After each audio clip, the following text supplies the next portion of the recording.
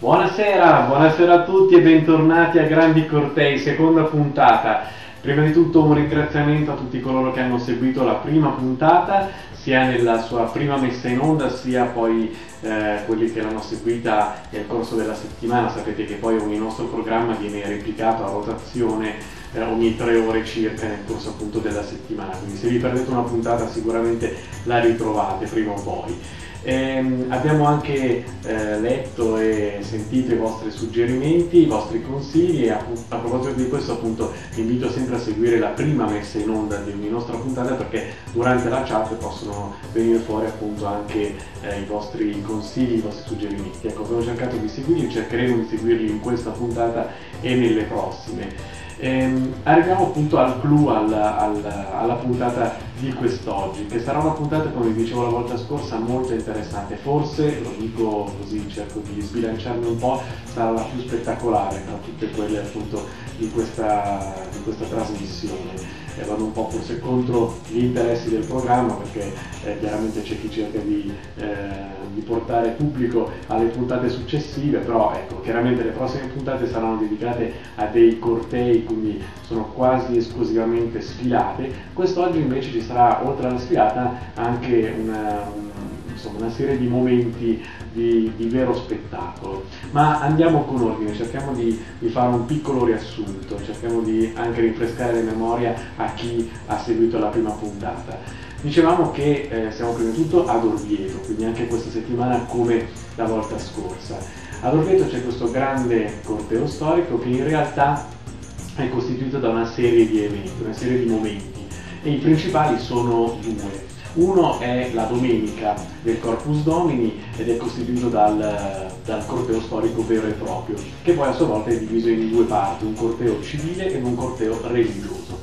Il giorno prima, il sabato, invece eh, si svolge quello che viene chiamato il corteo delle dame, che come dice il nome e come abbiamo anche accennato la volta scorsa, si chiama così perché chiaramente sfilano praticamente quasi solo eh, donne. Dico quasi perché in realtà ci sono soltanto alcuni eh, personaggi maschili che sono costituiti dai musici, quindi i musicanti, diciamo così, i tamburini e eh, gli sbandieratori. Ecco, questi sono gli unici elementi maschili in, in tutto il corteo delle dame.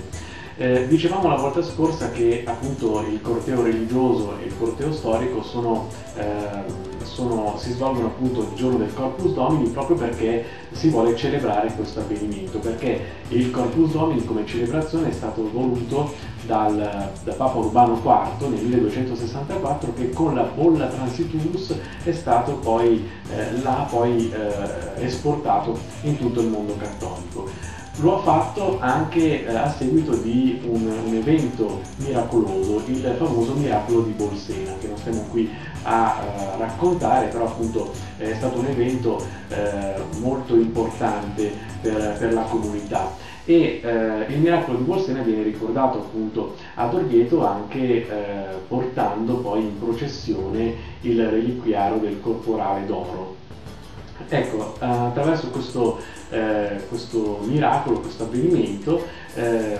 grazie appunto a questo avvenimento è stato poi esportato, come dicevamo prima, questa, questa manifestazione, questa celebrazione del Corpus Domini a tutto il mondo cattolico. E appunto è proprio eh, grazie a questi avvenimenti religiosi che è stato introdotto il corteo religioso ad Orvieto, che è molto antico non l'abbiamo detto l'altra volta ma è molto importante, addirittura si parla del 1373 come prima data, come primo anno in cui è avvenuta la processione religiosa, ma soltanto molti anni dopo, si parla proprio di secoli dopo, è stato introdotto il corteo storico, perché si voleva dare appunto una, eh, anche un contesto storico a quello che era appunto il corteo religioso. Quindi eh, questo appunto è molto importante sapere questo perché comunque il corteo storico è avvenuto, eh, è stato introdotto solo successivamente. E eh, addirittura eh, inizialmente si voleva dare appunto un grande rilievo al miracolo di Bolsena facendo delle rappresentazioni. Questo a quanto pare, insomma, secondo la storia, è successo negli anni 40 fino però a una certa data, appunto fino al 1950-51, quando per motivi economici, per motivi organizzativi è stato interrotto questo, insomma, eh, stata introdotta questa tradizione che in realtà è durata, è durata molto poco. Nel 1951 però arriva un'altra novità, viene chiamata una signora, una signora che si chiamava Lea Pacini, che, eh, alla quale appunto è, stata, è, stato chiesto di inventarsi qualcosa per poter rendere eh, insomma, accattivante quello che era appunto il corteo religioso della città. Questa signora si è inventata tutto insomma, in poco tempo e insieme al corteo religioso ha, eh, insomma, è riuscita ad avere, eh, ad ottenere pochi costumi, costumi storici, eh, a metterli addosso ad alcune persone, ad alcuni figuranti e appunto a farli partecipare in questo corteo religioso. Quindi erano pochi, pochissimi figuranti. Era il primo accenno di corteo storico. Da lì la comunità ha accettato, ha accolto con grande entusiasmo questa novità e il corteo storico finalmente è stato proposto nella sua veste attuale, potremmo dire, anche negli anni successivi. Lea Pacini è stata una grande eh, promotrice insomma, di questo corteo storico, eh, tanto che appunto sua, dopo la sua scomparsa, avvenuta nel 92, eh, l'associazione che si occupa di questo corteo è stata proprio mh, legata al suo nome, quindi adesso si chiama Associazione Lea Pacini. Adesso se ne occupa appunto un'altra donna, Nicoletta De Angelis, e appunto grazie a Nicoletta De Angelis che nasce il Corteo delle Dame, ed arriviamo quindi appunto al Corteo delle Dame che vedremo in questa puntata.